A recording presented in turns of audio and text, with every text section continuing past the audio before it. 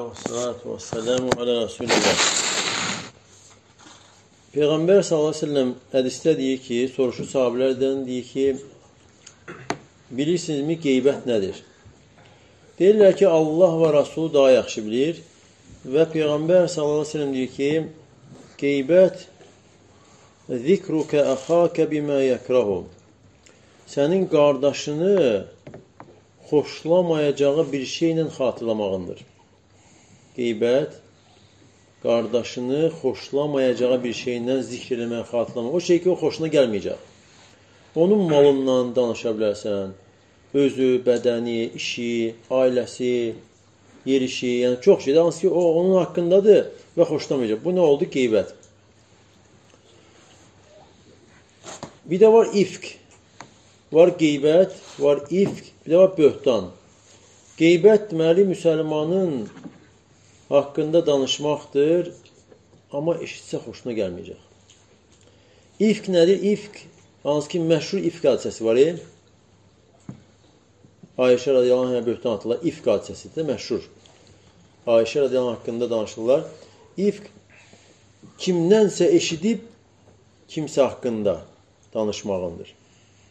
Kimdən seçdibsən falan kəs haqqında deyirsən. O ifkdir. Ayşə radiyan haqqında eşitdilər və danışdılar. Birinci başdan danışan amma kim idi? Abdullah ibn Ubey ibn Səlül. Münafiqlərin başçısı idi. Və bu ikincisi ifdir. Böhtan nədir? Böhtan amma sən özünün kimsə haqqında olmayan bir şey deməyin. Deməli, qeybət müsəlman haqqında danışmağındır, eşitsə xoşlamayacaq. İfk kimdənsə eşidirsən, başqa adamdan eşitsən, o haqqında danışsan. Böhtan amma insan özü onda olmayan şey demaqdır. Ona görə Peyğəmbər s.ə.v deyəndə ki, qeybət e, sənin qardaşını xoşlamayacağı bir şey zikr eləməyindir. Deyirlər, ya Rasulallah, bəs əgər mən dediyim şey qardaşında varsa, deyə, əgər qardaşında varsa, qeybət eləyibsən. Əgər onda yoxdursa, onda böhtan eləyibsən. Böhtan atıbsan insana. Qeybət də böyük günahlarda haramdır. Hansı ki, Allah Teala qeybət eləməyi insanın ətini yeməyə bənzədir. Ətini yeməyə. Eyyuhibbə əhadukum ən yəkulə ləhmə axihi meytən. Sizdən biri qardaşının ətini, ölü ətini yema istəyərmi? Və kərihtumu sizin xoşlaması. İnsan təsəvvür etsək, oturubsan, qardaşın ölübdür, sənsən bir də onun cəsədidir. Yanında oturubsan, yiyirsən ətindən. Amma İbn-i Əsəkir deyir ki, alimlərdən. Deyir, alimlərin əti zəhərlidir və Allah talanın adəti məlumdur, keçərlidir. Allahın qoyduğu qanundur sanki.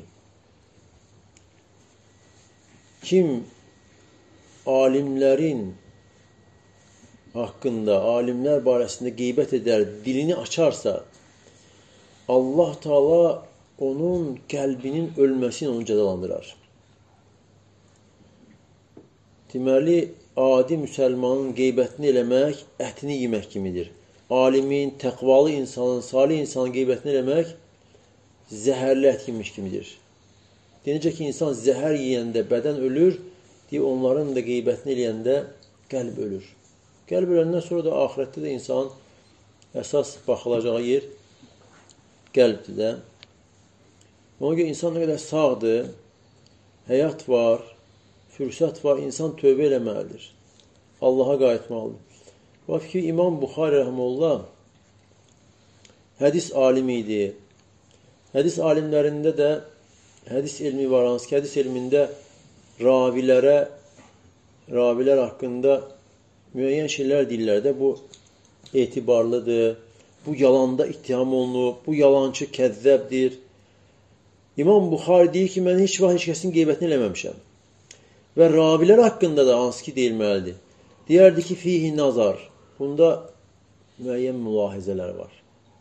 Yəni, o deməzdi, qoruyardı dilini ki, filan kəs yalancıdır, yalanda ittiham olunub. Yəni, o dərəcədə İmam Buxari qoruyardı, özünün dilini qoruyardı. Çünki bilir axı yazılır. Yəni, nə desən yazılır. Sonra qiyamət günü insan cavab verməlidir. Allah bizi islah eləsin.